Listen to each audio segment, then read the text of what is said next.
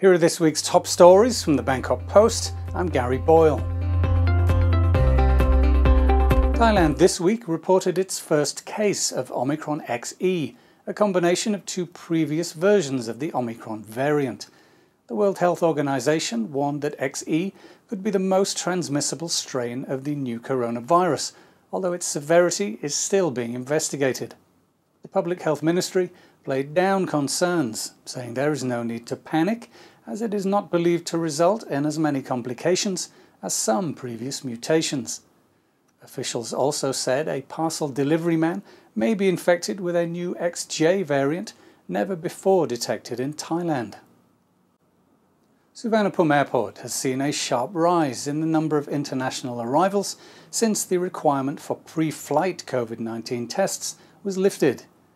The airport reported an average 11,623 travellers from overseas destinations from Friday to Monday, a 66% rise from the average in March of 7,003 visitors a day.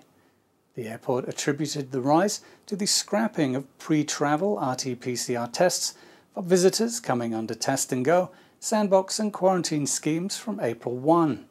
The government is considering scrapping on arrival RT PCR tests for foreign visitors from next month.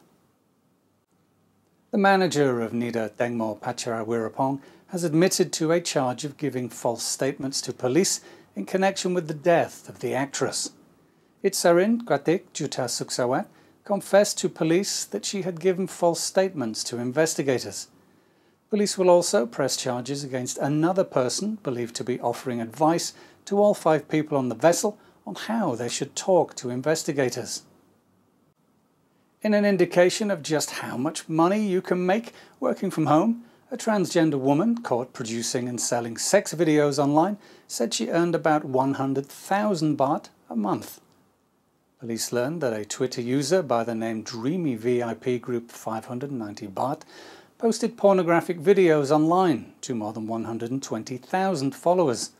Subscribers pay a fee of 234 baht for access to her videos on the OnlyFans website. Prior to the arrest, she had 430 subscribers.